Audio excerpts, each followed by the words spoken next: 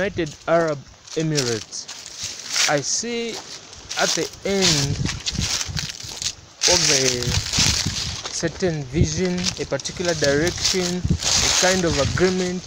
I see at the end of that direction, I see darkness. Hours after history was made at the White House today, Israel, the UAE, and Bahrain together at a signing ceremony celebrating the Abraham Accords, the deal normalizing relations between the countries.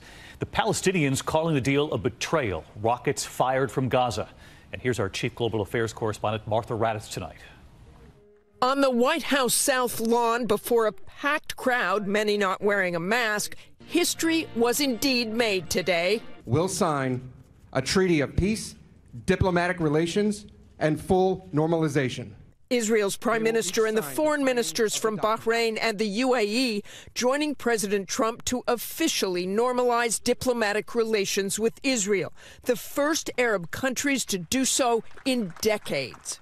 To all of Israel's friends in the Middle East, I say, Assalamu alaikum. Peace unto thee. The agreements mean embassies will be opened in each other's countries. Commercial flights can operate between nations. Together, these agreements will serve as the foundation for a comprehensive peace across the entire region. President Trump proclaiming this a peace agreement, but the countries were not at war. And left out of the deal, the Palestinians, who call the agreement a betrayal. At some point, when they decide that they want to live better lives, uh, I believe that they'll engage. No sign of that yet. Within minutes of the deal being signed, rockets were launched into Israel from Gaza. There are strong indications that other Arab nations could enter into a deal with Israel. President Trump saying maybe seven, eight, or nine more, including, David, Saudi Arabia.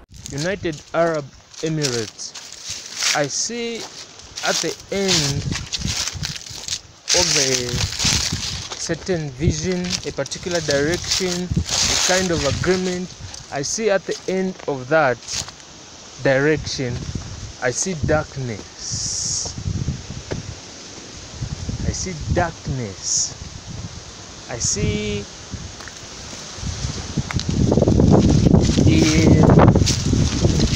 dryness.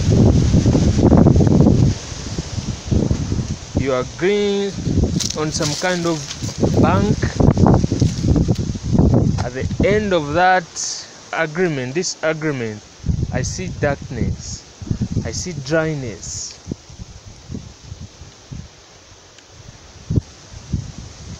The Bible says, Love your neighbor as yourself. Pray for Arab United Arab Emirates that the, the things at the end it gets to be nice. Otherwise, I'm seeing darkness at the end of this whole agreement.